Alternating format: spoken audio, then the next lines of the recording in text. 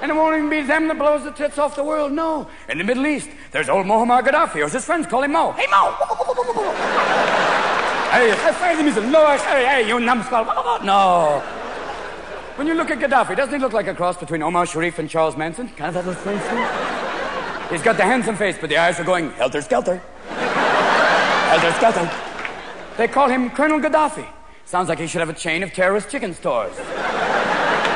Come on down to Colonel Gaddafi's bomb in a bucket. Come on down. Bring the kids. Get a grenade. Come on down. Here's a man who had the audacity to go, it's a line of death. You cross it, you die. Okay? You cross this line, you die. Okay? You cross this line, you die.